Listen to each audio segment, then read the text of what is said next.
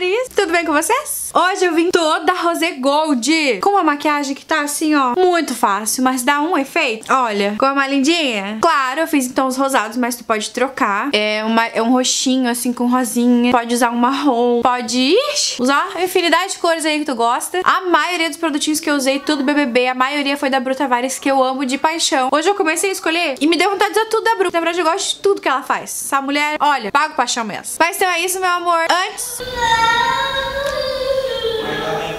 Antes de a gente ir pra essa maquiagem, eu vou te pedir agora pra tu dar o teu likezinho do amor, te inscrever no canal também. Me acompanha nas minhas redes sociais, meu Facebook é facebook.com.br Gabi Machado Makeup, Instagram arroba Gabi Machado. E agora sim, pega tudo que tu tem aí, meu amor, principalmente um brilho, porque hoje a gente usou iluminador Hum, pega teus iluminadores, tudo, tudo que tu tiver de brilhoso aí e bora fazer essa maquiagem junto comigo. Então vamos começar.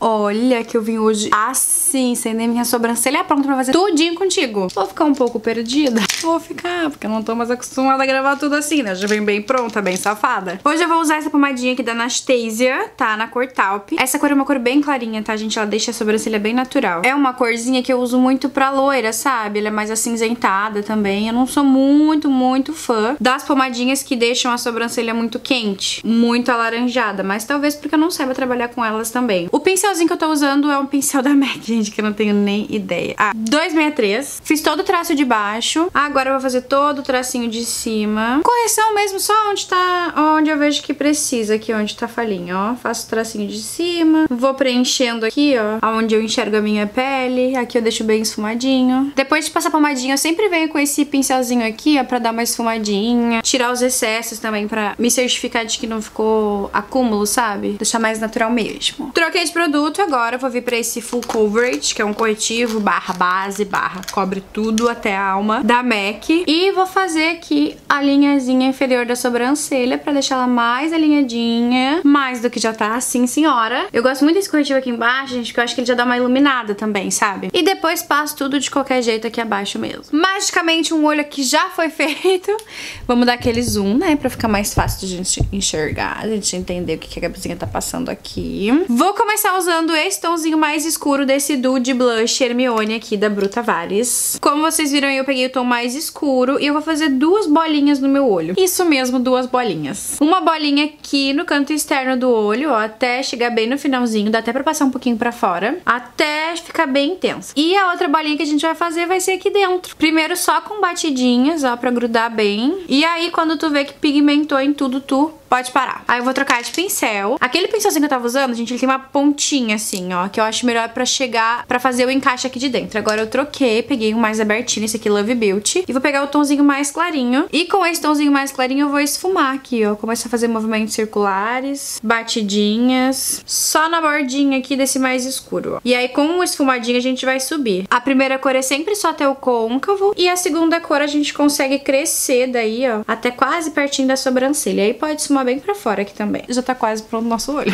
Nós gosta de quê? Nós gosta de facilidade. Vou usar o pozinho da Bitar. Esse aqui é o 01, deixa eu só confirmar. 01, que é aquele que tem um pouquinho de brilho, sabe? Que eu vou usar pra selar todo esse corretivo que ficou aqui embaixo e dar uma iluminada muito sutil abaixo da sobrancelha. Pode pegar com, com força, meu amor. Não precisa economizar aqui, não, ó. Pode até subir pra cima do marrom, que isso até vai ajudar o teu esfumado a ficar mais bonito. Só lembra que toda vida a gente volta com o pincelzinho anterior, só pra certificar de que o esfumado tá, tá great. Tá great, no inglês. E agora nesse meio que tá estranho aqui, que tá estranho que eu sei, eu vou usar o BT Glow da Brutavares. Esse aqui é o, o Rose Pearl, Rosé Pearl, ou melhor, Pérola Rosa. Que é muito lindo, gente. Inclusive eu vou usar ele pra mais de uma coisa aqui, tá? Eu vou tacar nessa cara inteira depois. Eu vou colocar na minha mão uma, uma gotinha assim, ó. E pra ir com cuidado, eu resolvi pegar o um pincelzinho. Pode ser com a mão também, tá, gente? Mas como eu tô com essa unha grande aqui, eu tenho medo de manchar. Então eu vou com um pincelzinho. Esse aqui é um pincelzinho de precisão da Makeup 157. E eu vou dando batidinhas no centro aqui agora, ó, que é onde ficou em branco. A minha mão tá bem levinha, tá, gente? Quanto mais eu subo, mais levinha ela fica. Se mistura com aquele marronzinho que a gente tinha colocado por baixo. No meio eu vou intensificando cada vez mais, ó. Tô criando uma segunda camadinha, mas só no meio pra deixar mais intenso. E dá pra vir aqui até com uma terceira camadinha, ó, pra ficar bem brilhosinho. E o nosso olho tá pronto, foi basicamente isso. Agora é só dar acabamento embaixo. Vamos preparar essa pele agora?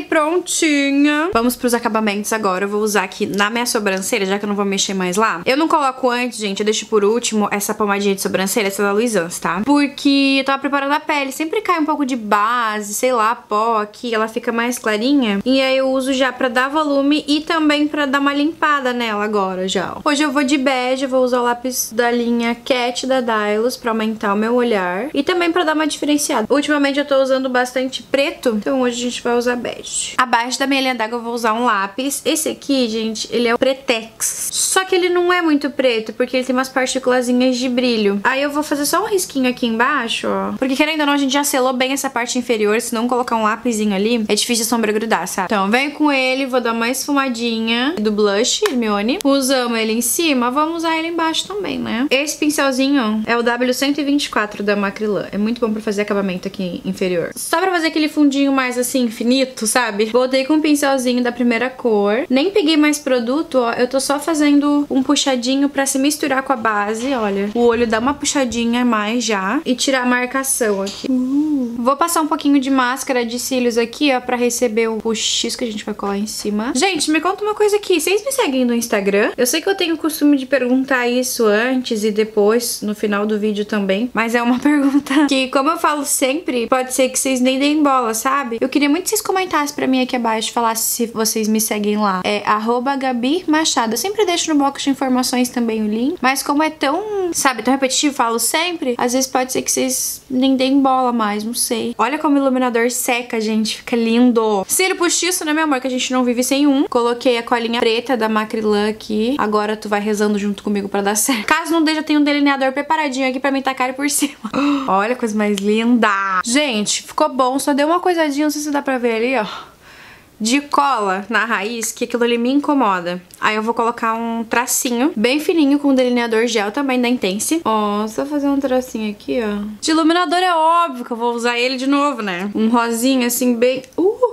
Tudo bom. Ai, dei uma leve exagerada. Dei uma leve exagerada. Peguei esse pincelzinho do Fiber aqui que me auxilia bastante. Ele não deixa manchar, sabe? Porque querendo ou não, né, gente, é um produto líquido em cima de um produto mate aqui, sequíssimo, pó. Fica bem lindo. Vou colocar um pouquinho na ponta do nariz, aqui, aqui também. Eu acho que fica um glow muito natural. Mais natural do que o em pó. E como estou toda nessa vibe rosé, já vou aproveitar e vou colocar um pouquinho mais de iluminador, porque tá pouco. Iluminador aqui é coisa pouca, meu amor. Eu vou usar esse aqui que é o Show Gold da MAC, só pra fazer um estourinho de luz aqui na pontinha, ó. Bem na massazinha. Fica bem Barbie hoje. Esse Show Gold é lindíssimo, meu Deus. Só que sabe que é difícil de usar ele? Gente, eu tô me amando tanto, vocês não estão tendo ideia. E pra sair um pouco do nude, porque ultimamente eu ando só batendo nude, né? Nude rosado, nude amarronzado, nude alaranjado. Vamos hoje com um batom mais ousado, meu amor. Batom Carol, da linha Bruna Tavares. Bem lindo!